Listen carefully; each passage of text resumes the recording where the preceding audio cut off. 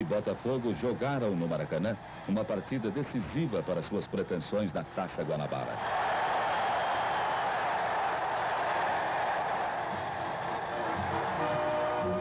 Os rubro-negros não podiam perder, pois ficariam fora da disputa do título.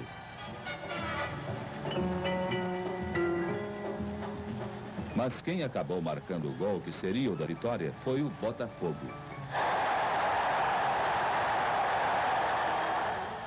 Eis a repetição do gol de Marinho.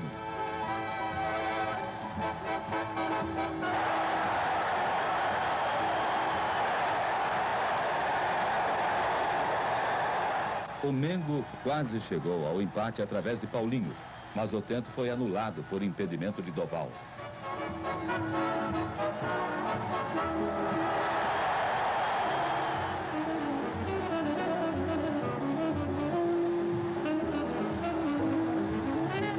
Na segunda etapa, a partida teve momentos de grande emoção.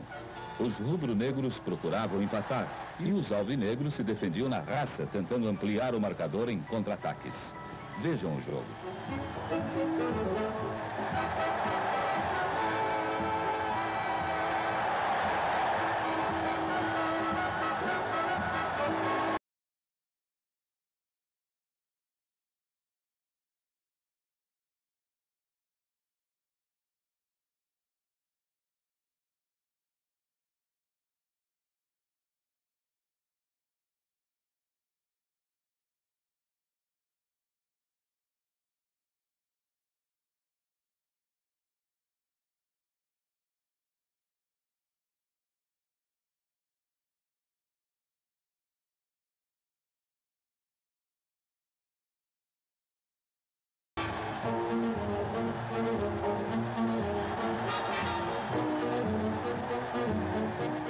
Quase no final, Nilson chutou na trave e Fischer perdeu na recarga.